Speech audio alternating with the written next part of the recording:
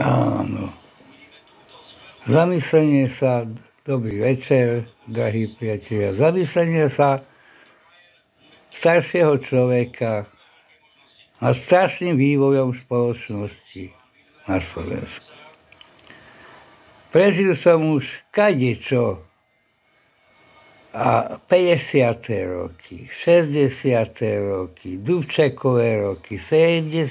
roky, drahí priatelia, 80. roky, najmä 89. rok, kde sa zmenil môj život v podstate od podstaty samej a dospel som záveru. A si uvedomujem, že už vlastne nemám čo, a nie je čo hľadať.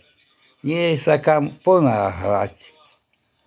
Už nie je kam ísť. Ale my starší, my sme tu doma a chceme len jednoducho už len žiť.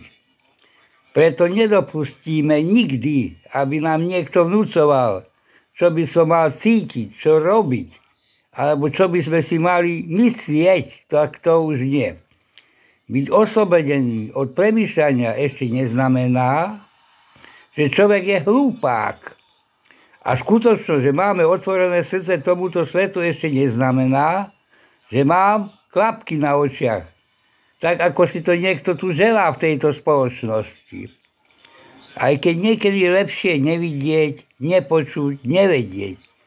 No som presvedčený, že je lepšie aj bolavá pravda, ako celý čas byť klamaný, ako dementi, keby sme boli. Preto musím rozmýšľať a držať sa toho, kto si zaslúži vysvetlenie, kto iba odpoveď a kto absolútne nič. Viete, my už starší inak rozmýšľame, ale vieme, že táto spoločnosť vedie do zániku. A preto želám vám, moji drahí, milí priatelia, na sociálnych svieťach. Všetko dobré. Ešte zajtrajší krásny deň. Nech vám zaklope na dvere šťastie a pokoj, láska a prežite tento mesiac nejak šťastne, keď sa dá.